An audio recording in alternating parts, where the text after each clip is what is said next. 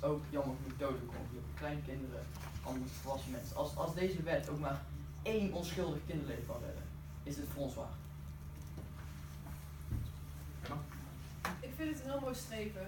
Eh, maar ik vraag me heel erg af, hoe willen we dit gaan doen?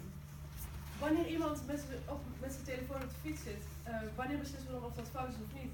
Als iemand aan het WhatsApp is, ik persoonlijk gebruik heel vaak mijn navigatie. Richtingsgevoel van niks, ja dan kom je net. En dan wil ik graag mijn telefoon gebruiken.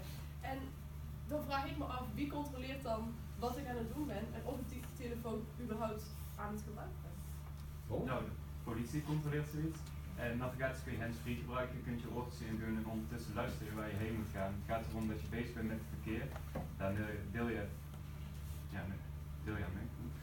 En ehm, je moet niet ondertussen iets anders aan het doen zijn, want dit kan gewoon leiden tot dodelijke ongelukken. Het is niet alleen vervelend voor jezelf natuurlijk, maar ook voor de bestuurder die jou bijvoorbeeld aanrijdt.